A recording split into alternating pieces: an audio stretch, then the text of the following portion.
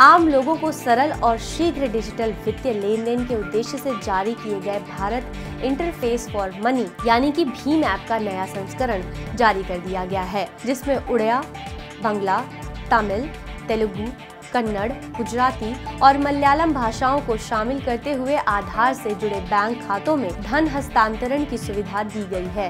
इस ऐप का संचालन करने वाली कंपनी भारतीय राष्ट्रीय भुगतान निगम यानी कि एनसीपीआई ने कहा कि पिछले 30 दिसंबर को जारी इस ऐप में दूसरी बार नए फीचर्स जोड़े गए हैं। संस्करण में सुरक्षा फीचर्स को सशक्त बनाने के साथ ही डिजिटल लेन देन के अनुभव को बेहतर बनाया गया है।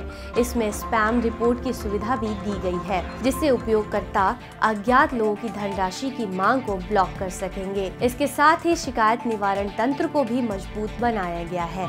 सरकार के देश में डिजिटल लेन देन को बढ़ावा देने के मद्देनजर एनसीपीआई ने यूनिफाइड पेमेंट इंटरफेस पर आधारित ये ऐप जारी किया है और सभी बैंकों को इससे जुड़ने के लिए कहा गया है।